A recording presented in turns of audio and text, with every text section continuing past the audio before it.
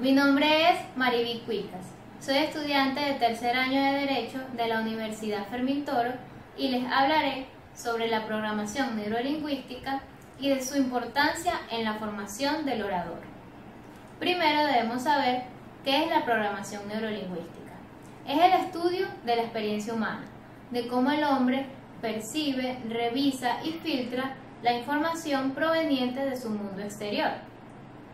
Señala que las experiencias son captadas por medio de nuestros sentidos. De allí pasan como información a través del sistema nervioso para luego ser estructuradas y darle significado a cada una de ellas. Esto por medio de un proceso lingüístico que implica a las sensaciones, las palabras, los sonidos, entre otros.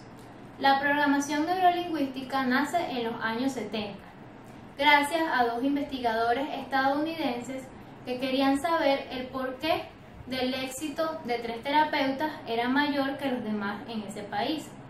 Y llegaron a la conclusión de que los tres usaban un patrón de comunicación muy particular.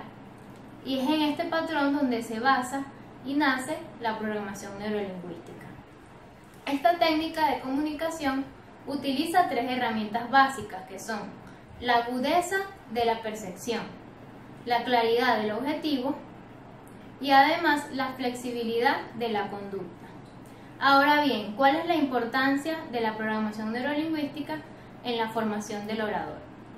La oratoria, como todas las ciencias, busca unos objetivos específicos y en este caso son enseñar, persuadir, conmover y agradar a todas las personas que sean los receptores en este caso. Y esto solo se logra teniendo una comunicación clara y objetiva. Aquí es donde radica la importancia de la programación neurolingüística, ya que ella permite tener una comunicación objetiva, eficaz, permite conocer nuestros mecanismos de comunicación, transmitir las ideas de una forma organizada, inspirar respeto, además de influenciar a las demás personas y resolver los conflictos siempre de una manera positiva.